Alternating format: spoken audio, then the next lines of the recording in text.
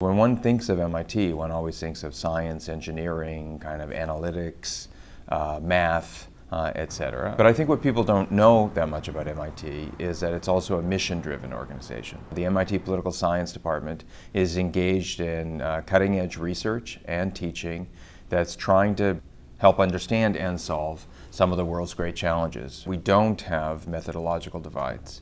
So we don't have sort of qualitative versus quantitative or people doing modeling as opposed to other kinds of work. Uh, what unites the department, and it's truly uh, an ethic that everyone shares, is how to do absolutely the best research possible to tackle the world's great challenges. And I think what makes us also unique is that we are very field-based.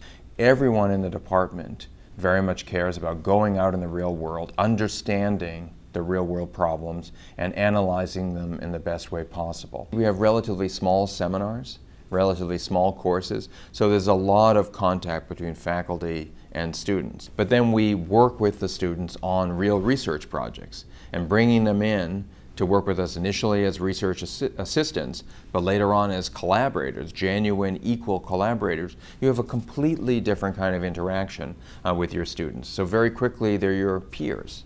They're your colleagues as much as your students. And that kind of climate, I think, is uh, not just sort of more fun, but it's also, I think, uh, more creative. It allows people to bounce off ideas uh, off one another, um, to push the kind of envelope in terms of theoretical debates, and to engage in genuine uh, and relevant uh, research.